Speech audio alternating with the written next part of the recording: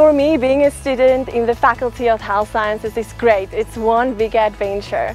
I enjoy the people I get to meet and to work with and the friendships I get to build and there's just so many opportunities.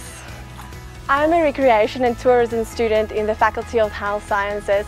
I, I love people and I have a passion for working with people. The Northwest University is the only university in the country that um, offers the course that I'm currently enrolled in. There is so much that I'm learning being a student at the Northwest University in the Health Science faculty. But if I have to choose one thing, it would be um, that I'm learning to think bigger and dream bigger.